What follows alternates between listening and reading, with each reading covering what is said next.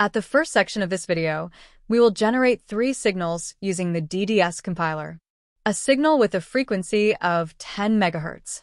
A signal with a frequency of 500 kHz.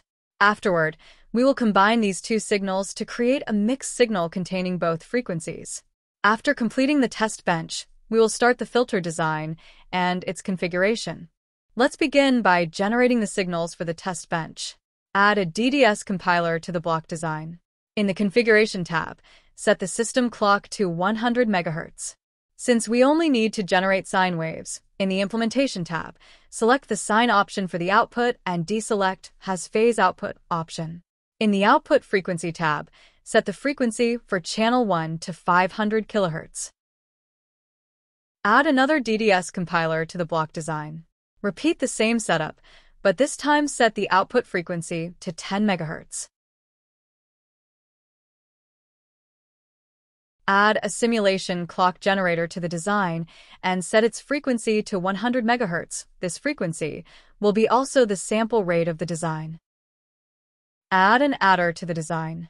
Set its input bit width to 8 and set its output bit width to 9. Connect the outputs of both DDS compilers to the input of the adder. This will generate the mix signal. I recommend adding some ports to the design. It makes observing the simulation results easier. Finally, add a top wrapper to your design, and you can run the simulation to observe the behavior. As shown in the simulation results, the first sine wave has a period of 100 nanoseconds, confirming it is a 10 MHz signal. The second sine wave has a period of 2000 nanoseconds, confirming it is a 500 kHz signal. You can also observe the mixed signal, where the faster signal fluctuates in amplitude at the frequency of the slower signal. FIR filter configuration. The performance of an FIR filter is influenced by several key factors. The first one is the number of taps. Increasing the number of taps improves the filter response, resulting in a flatter passband with fewer ripples and reduced ringing. A higher tap count also sharpens the attenuation at the cutoff frequency, enhancing the filter's precision. However, more taps introduce a larger delay, which may be unsuitable for certain DSP systems. The second one is quantization and filter coefficient bit width. Quantization reduces the precision of bit numbers by mapping them to a fixed set of discrete values.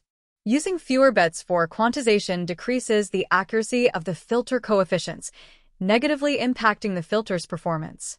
There is a trade-off between filter performance and FPGA resource utilization.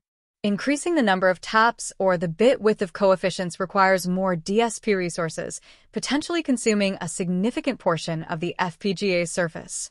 By carefully balancing these factors, you can optimize the FIR filter to meet the specific requirements of your application. In the provided MATLAB code, you need to configure the following parameters. Sample rate. This is the sampling frequency, which in our design corresponds to the clock frequency driving the system. Cutoff frequency. Specify the cutoff frequency for the filter. Number of taps. Set the number of taps for the filter, which determines the filter's precision and performance. Tap, bit width. Define the bit width for the filter coefficients, which affects the quantization accuracy. Filter type. Select the type of filter you need.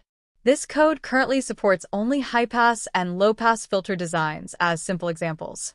If you need more advanced filter types or designs, refer to the MATLAB documentation for creating custom filters. After running the code, the code will return the quantized taps that you can edit them a bit and use them in your FIR filter.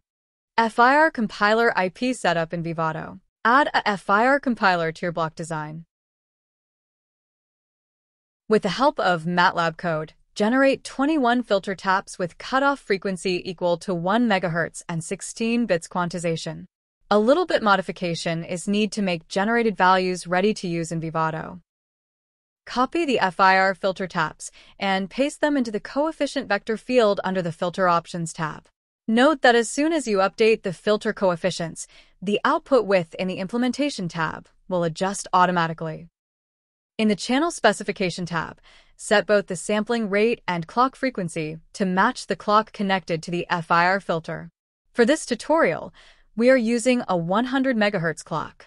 In the Implementation tab, configure the input bit width to match the bit width of your input signal. For example, since the output of the adder in this design has 9 bits, set the input bit width to 9.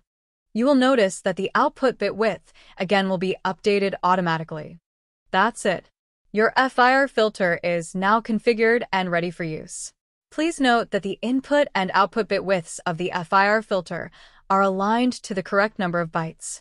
For example, while we set the input bit width to 9 bits, the filter's actual input bit width is adjusted to 2 bytes, 16 bits. You also need to add a constant with value equal to 1 and connect it to the T-valid port. Now that the FIR filter is configured correctly, run the simulation and you'll observe that the FIR filter is behaving as a low-pass filter, attenuating the faster signal the higher frequency signal is perfectly attenuated, leaving only the desired lower frequency component in the output. Vivado synthesis and implementation. All the utilized blocks are fully synthesizable, so there's no need to modify them. However, you must provide a clock source for the design. You can use any clock source, such as the PSBL clock from the Zynq IP block, or an external clock generated using the clocking wizard. If you choose to use the Zynq IP block, Ensure that the Zynq IP is properly initialized. Otherwise, the PL side will not receive a clock. For example, you can run a simple Hello World program on one of the ARM cores, which will activate the clock for the PL side. To keep the process straightforward and avoid using Vitis, I selected to use an external clock available on the ZCU 104 board. We need to include an ILA in the design to monitor and study the targeted signals. Remove all the extra ports and instead, connect them to the ILA. Alright, we can now proceed and generate the bitstream. After running the bitstream on device, we should be able to see the same results as simulation.